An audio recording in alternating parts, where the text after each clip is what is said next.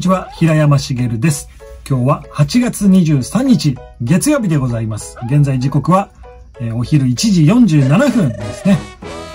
さあ、えー、今日はね、お仕事始めという方、多かったと思います。本日も一日、お疲れ様でございました。お疲れ様です。大丈夫ですから、ね、月曜日を乗り越えたらもう大丈夫。もう大丈夫。あなたは大丈夫。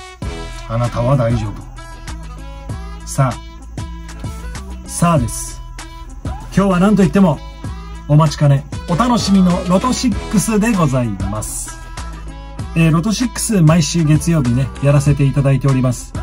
毎、えー、5口ですね。毎回5口買いましてですね、その日のうちに結果発表するというような、えー、企画をね、毎週やってるんですけれども、本日はちょっと、なんと、10口買いました。10口買ってます。ということなのでね、えー、まあ今日は当たる確率2倍ということなので、まあ予算はね、ちょっと2000円とちょっといっぱい使っちゃいましたけれども、まあ帰ってくるだろうということで、今日は10口でいきます。そしてこれあの、見てわかる通り、シールを貼ってます。あの、まあダイソーで売ってる、こういう、ギューっていうね、マスキングテープなんですけれども、これでね、ちょっと細工をして、少しでも、少しでも皆様にドキドキ感を味わっていただきたいなと思います。そして私自身も、これをすることによってね、ドキドキ、ワクワクしながらやれるということで、僕自身が一番楽しいという企画でございます。まあもちろんこのね、ロト6、えー、高額当選、高額当選した場合には、皆様に何かが起きますから。何かが起きますからね。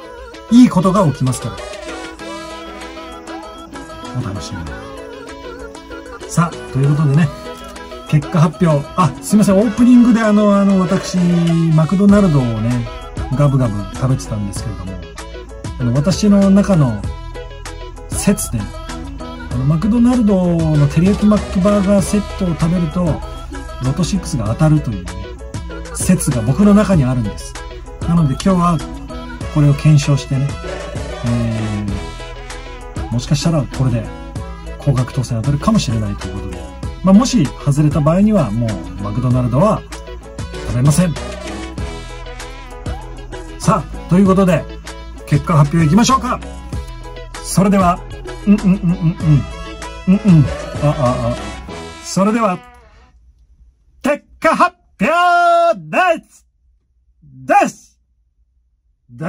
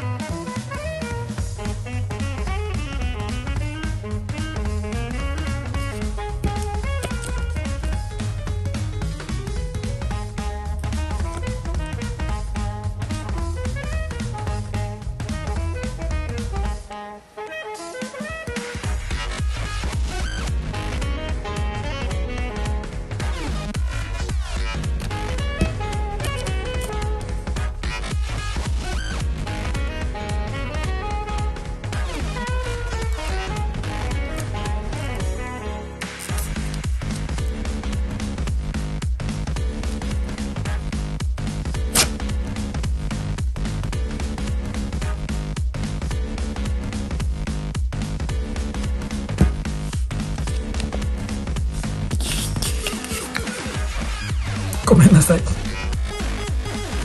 全然ダメでした。また次頑張ります。また次回。また次回。よろしくお願いします。ありがとうございました。